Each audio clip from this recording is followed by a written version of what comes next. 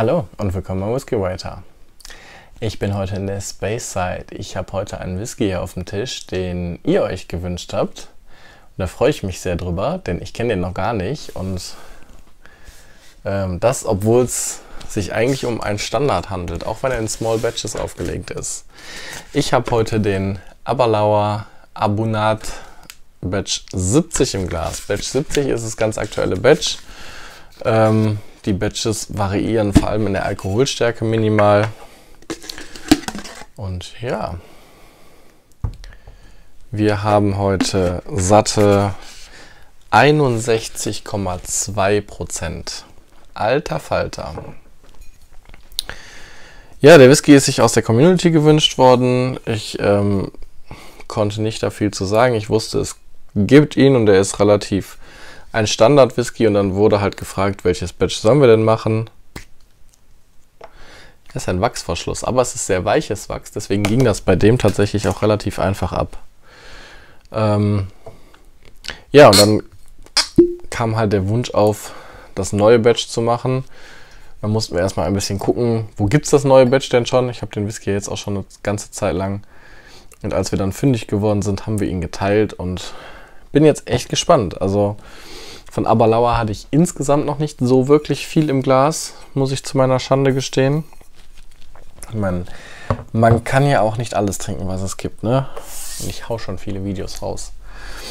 Ähm, von daher bin ich sehr froh, wenn sich dann auch mal sowas gewünscht wird. Ich freue mich gerade sowieso sehr über Brennereien, die ich noch nicht so sehr kenne, einfach um mein Portfolio hier auch ein bisschen ausbauen zu können und mein persönliches Wissen über Brennereien mit denen ich noch keine Erfahrung gemacht habe, aufbauen zu können. Ja, und dann freue ich mich, dass auch so ein Core Range Whisky von Aberlauer es hier auch zu mir auf den Tisch schafft.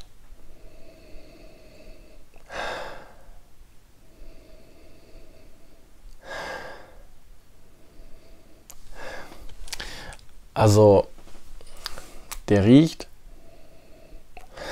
der riecht so ein bisschen nach Duschgel. Einerseits hat er so sehr typische Sherry-Noten und ich habe gefühlt Orange, roter Apfel, bisschen Möbelpolitur oder auch einen Ticken Klebstoff. Aber ich habe auch ganz stark halt so eine so eine Duschgelnote. Spannend.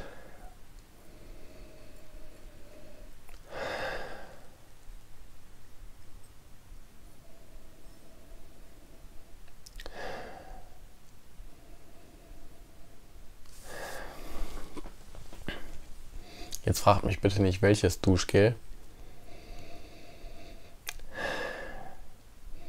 Auf jeden Fall was Fruchtigeres.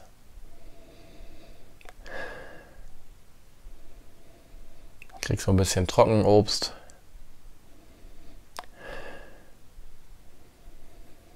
Oder tatsächlich so eine Marmelade. Orangenmarmelade oder sowas aber eine ungesüßte.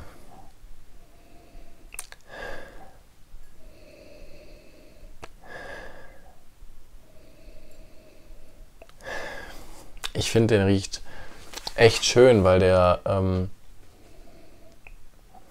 ja, weil der nicht zu komplex ist, aber die Aromen, die er hat, sehr klar und deutlich transportiert werden. Und herrlich eingebundener Alkohol. Also fast 62 Prozent hätte ich dem niemals gegeben. Ja, ich hätte ihn über 50 geschätzt, aber wahrscheinlich unter 55.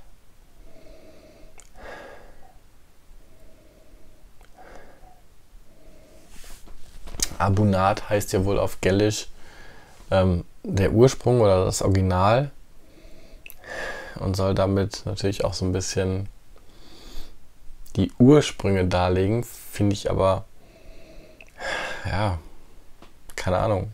Ich habe noch nicht so viel von denen gehabt, dass ich sagen könnte, ja, das spiegelt das eins zu eins wieder. Zum Wohl.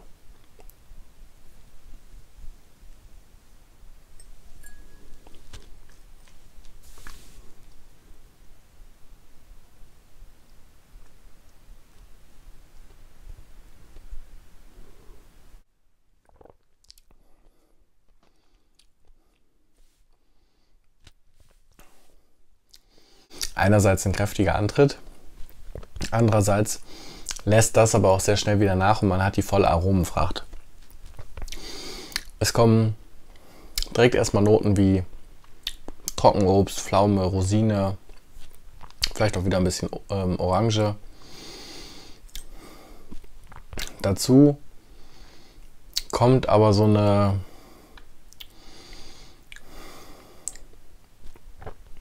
so eine Kaffeenote, Kaffee-Espresso. Jetzt hatte ich kurz gerade gefühlt Chlor, das ist aber schon wieder weg. Ähm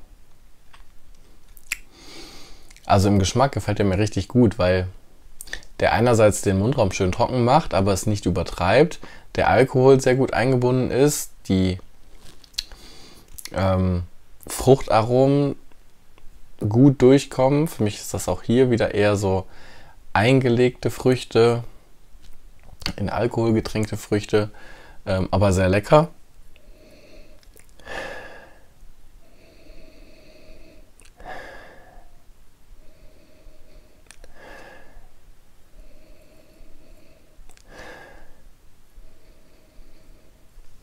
Ja, also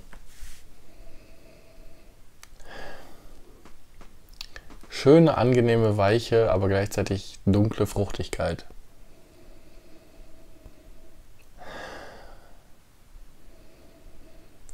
Steht da was drauf, was für ein Sherry das ist? Majored in äh, Spanish Oloroso Sherry Butts. Ja. Habe ich vermutet, weil ich habe diese Möbelpoliturnote, die ich bei PX oft habe, nicht so wirklich. Ich hatte sie, glaube ich, zwischendurch mal ganz kurz, aber allerdings habe ich auch die Nussigkeit, die ich mit Oloroso verbinde, eher weniger.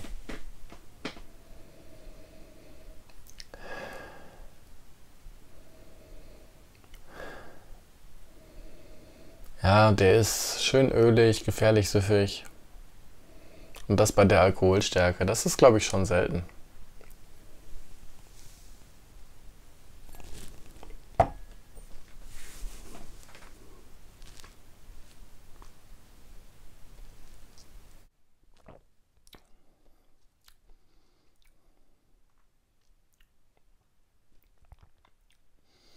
Also ist, er ist schon sehr fruchtig und das in Kombination mit diesem hohen Alkohol und dieser leichten Kakao, Kaffee, Espresso-Note am Ende ist eine sehr schöne Kombination. Er hat natürlich Wucht, er hat natürlich Antritt, auch wenn ich finde, dass es gut eingebunden ist und eigentlich nicht die Alkoholstärke widerspiegelt, die angegeben ist. Nichtsdestotrotz ist das kein Trinkstärken-Whisky. Ähm, aber ich finde, das muss es auch gar nicht sein. Der ist auch so extrem lecker. Mir hätten wahrscheinlich ein paar Prozent weniger trotzdem ganz gut getan. Ähm, nichtsdestotrotz extrem lecker, sehr lecker. Und ähm, wenn das das ist, was Abalauer so kann, dann würde ich gerne auch von denen noch mal ein bisschen mehr probieren. Abgang ist tatsächlich lang. Ich habe den immer noch auf der Zunge und ich rede jetzt nicht von irgendwelchen Bitterstoffen, die sich lange halten, sondern ich habe tatsächlich immer noch den Geschmack auf der Zunge, die Rosine, die Orange. Sehr schön. Wie sieht es bei euch aus? Aber Lauer, könnt ihr empfehlen, könnt ihr nicht empfehlen? Was hattet ihr von denen schon und ähm, was hat euch total vom Hocker gehauen? Das würde mich natürlich mal interessieren, gerade welche Abfüllungen sind herausragend. Lasst mich wissen. Ansonsten würde ich mich freuen, wenn ihr das Video mit einem Like belohnt, auf den Abonnieren-Button klickt und beim nächsten Mal wieder einschaltet. Vielen Dank fürs Zusehen. Bis dahin. Ciao.